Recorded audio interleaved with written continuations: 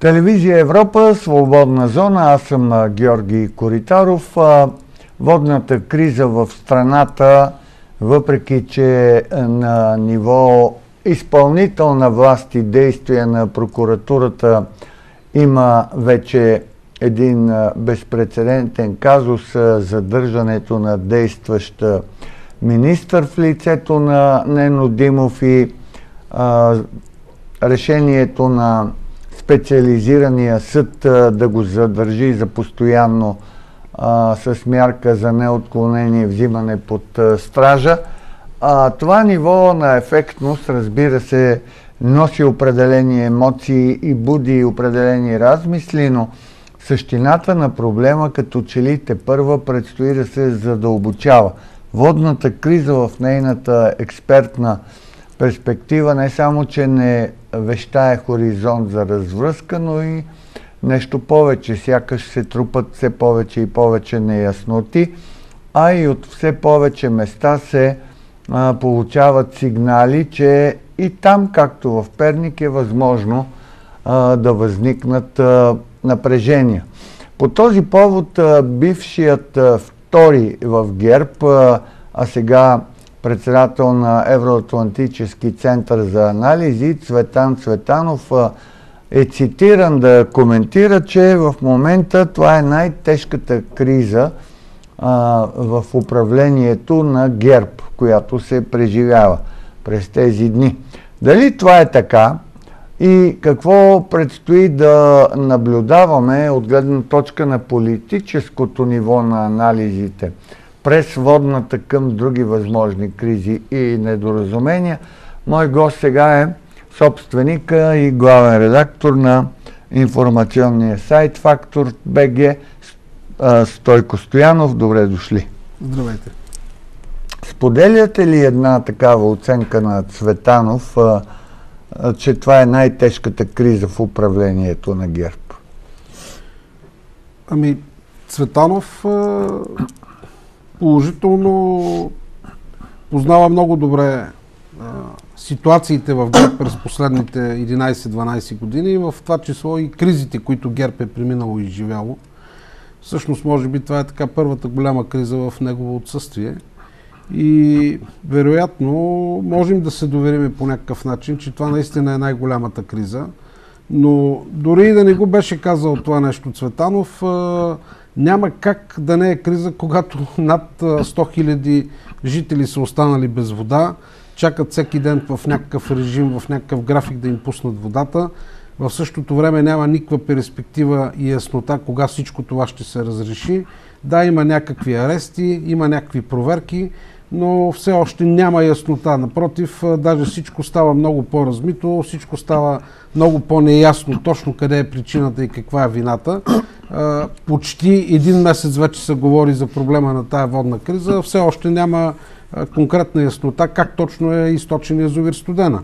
Паралелно с това ситуацията така би могло да се каже, че напомня много на 2012-2013 година, когато си спомняте бунтовете и протестите с а, надутите сметки за тока а, и очакваната тогава енергийна криза, но тогава проблема беше, че това се случваше почти в цялата страна, беше масово, бяха засегнати а, много хора. Докато сега е все пак някакси локално в Перник, но наистина има голяма опасност проблема да се мултиплицира, защото непрекъснато чуваме, че и други язовири водата е почти изчерпана в тях. Горе-долу се говори, че и схемите на източване на водата е почти една и съща, с отклоняване към предприятия на олигарси, на босове в бизнеса, с отклоняване на водата през изтичане през вецове, които са направени на язовири за напояване. Така че проблема може да се засили, а не да се балансира по някакъв начин и да се отстрани. А тук е мястото да разширим контекста за разсъждение, защото а, проблема, който наблюдаваме сега в най-открит вид, като връх на айсберг в буквалния смисъл на метафората, е нещо, което е намерило своята почва и основа в размитото и осложнено като разпределяне на отговорности и законодателство. От тази гледна точка, когато човек като господин Цветанов говори за това, че в момента ГЕРБ преживява най-тежката си криза в управлението, би следвало също по смисъла на функцията, която е изпълнявал, да бъде обект на една ретроспекция като дейност, защото ръководството на една парламентарна група през годините, а парламентарната група е звеното, което обезпечава качествено законодателство, е може би от най-възловите нива за търсенето на решение на такъв проблем. Защото ако още преди 10 на години при макар и друг тип водни кризи се беше удостоверило, че има проблем в законодателството, в преплитането и неяснотата на функции и отговорности, то въпрос е защо през тези години а, не са променени закони, не са изчистени образи, функции и отговорности. Така че не означава ли, че всъщност тази най-тежка криза е само видимост на нещо, което е подготвено поради доста комплексна некомпетентност, основно и в парламента през последните години. Ами, вероятно това е така. Вероятно това е така. Депутатите няма как да се скрият от този проблем. И тук се сблъскваме с факта, който няма как също да не се признае, че последните години българския парламент трупа изключително голям негатив и е, може би, така държавната институция с най-нисък рейтинг. Дори по-нисък от този на прокуратурата, примерно.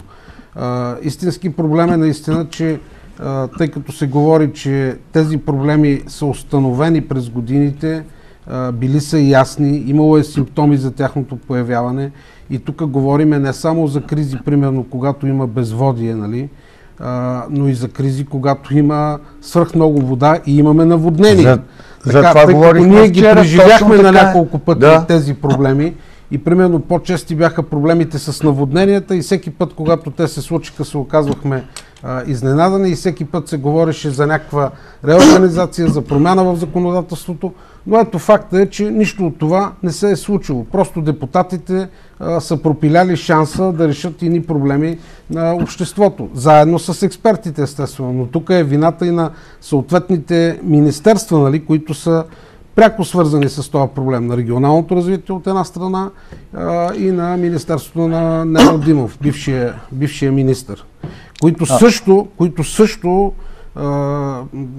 според закона и според функциите, които трябва да изпълняват, биха могли да бъдат инициатори на законодателни промени, които да решат тези проблеми. Разбира се, но вчера беше емблематичен ден от гледна точка на противоречивост на посланията, излъчвани в медиите.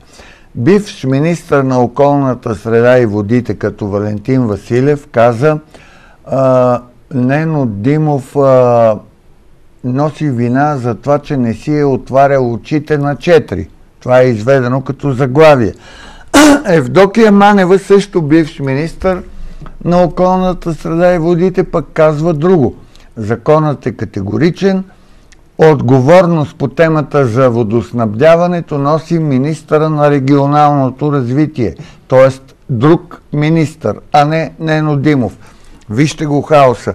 Този, който по закон не носи отговорност, не е вписан, е трябвало да си отваря очите на четири. Какво да гледа? Друг министър обаче преди два дни само а, в едно свое изявление обяви, че на няколко пъти регионалният министр е бил в спор с Нено Димов и са му правили забележка как да действа. Един вид се опитаха да защитат регионалния министр, нали, и да оставят проблема само в градината на, на Нено Димов. Нали си спомняте това изявление на Томислав Дончев? А, не само си го спомням, така, че имаме една такава трета посока. Да. Третата посока е а, много особена а, и тя води към един а, много неприятен извод.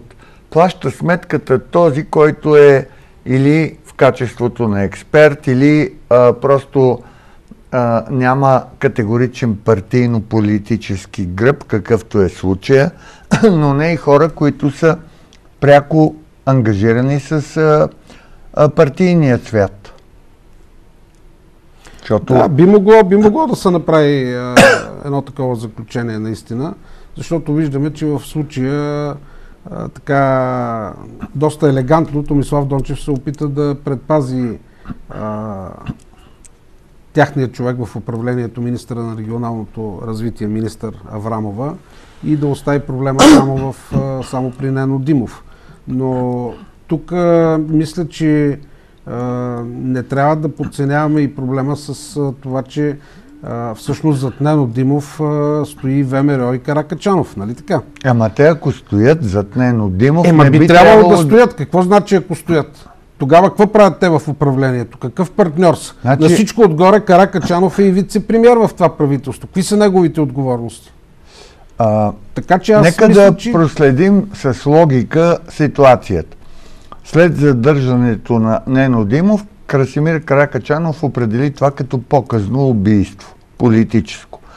Ако стоиш зад оценка, че това е показно политическо убийство, как преди да си изяснил причините, характера, обстоятелствата, законовата основа, механизмите на това, тръгваш да излъчваш е. нов кандидат за министър. Ами да, то това е парадоксалното. Вчера цял ден се пазаряха кои са тяхните лица.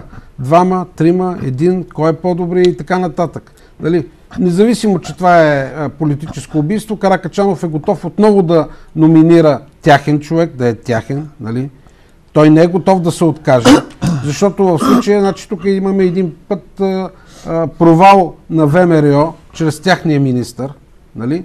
в а, решаването на водния проблем или изобщо недопускането на водния проблем в Перник. Така изглежда така като изглежда. провал. Ако искаш да докажеш, че не е провал, опитай се да изясниш какво е станало да, и тогава да. води разговори за но, но както виждате, за изясняване кандидат. изобщо не става и дума. Нали? Те са готови веднага да номинират. Ето въртат се три имена. Може би се твърди, че така ревизиор ще бъде предпочетеният човек, като човек от гражданската квота, още по-лесно с него да се разчистят сметки, ако утре стане някакъв провал, защото ние няма какво да се лъжим. Следващия министр, който ще поеме а, този ресор, ще му бъде изключително трудно. Той ще мине почти тази една година, която му остава, ако все пак допуснем, че изборите ще бъдат 21 година, той ще бъде под обсада на гражданско неодобрение непрекъснато, включително и политическо, нали? и медийно. На практика няма никакво време за решаване на какъвто и да е проблем в стратегическия смисъл на думата. Но вижте, мен ме притеснява е това, че а, Каракачанов и, и ВМРО изобщо не говорят за своята отговорност. Дори дайте да си говорим така откровенно, много хора, наблюдаваме и във форумите, чак сега разбраха даже, че Нено Димов е от човек квотата от квотата на, на Каракачанов. Да, Смята ли се го, че е от квотата на Гер, че е от някаква друга гражданска квота и така нататък и така нататък. Може би и той не се афишираше като такъв. Но, но в края на краищата тук трябва да видим и отговорността на ВМРО, защото ВМРО в това управление е партията с най-много изцепки и с най-много проблеми, които се създадаха в управлението. Нали? Това съвсем не трябва да се замазва. Като почнете един път от а, а, скандала с а, Агенцията за българите в чужбина и издаване на, на фалшиви паспорти на, на българи, нали, търговията с паспорти, за която се говори, и така наречения Бат Харо, от който сега ВМРО са се изчистили и отърсили, но ако човек разгледа на, на всички снимки преди задържането му, той беше до Каракачанов а, и до Ангел Джамбаски. Да вземеме скандалите, които текат в Министерството на отбраната Каракачанов налага там една а, много интересна русофилска политика. В същото време мачка всички експерти, които са а, проатлантически а, и евроориентирани. Освен това да вземеме Каракачанов ще остане, може би, името му само с това, че по негово време се сключи сделката за F-16. Но в края на краищата финансовата рамка беше подготвена по времето на Николай Ненчев. Каракачанов няма никаква роля за това да бъде развален договора с Грипен и да се противопостави на президента и опита му Грипен да получат сделката. Но в същото време виждаме как пък стотици милиони от военното министерство през тези години изтекоха към Русия и руски фирми за ремонтиране на устаряла съветска техника. Ето само сега преди две седмици на 27 декември са обявили нова поръчка за ремонт на старите ракети, които трябва да бъдат изстрелвани от тези мигове, които миналата година дадаха 100 милиона за тях, за да бъдат ремонтирани. Това са стари ракети, за които сега ще дадат 26 милиона. Защо не се направи комплексна поръчка преди една година? Каракачанов няма отговор на тези въпроси. Да не говорим, че Каракачанов реабилитира а, всички стари ченгета и военни от, от времето на Варшавския договор, като им раздава непрекъснато награди и отличия. Да заеме Ангел Джамбаски. Преди един месец го хванаха с пистолет евродепутат, тръгва на летището да минава с пистолет и се прави на умряла лисица. Преди две седмици го хванаха пиян да шофира. Нали? Това са непрекъснато скандали, които генерират около тези хора. Е, аз не знам обаче да... И каква е отговорността? С... Каква отговорност Каракачанов и ВМРО са поели? Те се оказаха крайно неподготвени за това управление.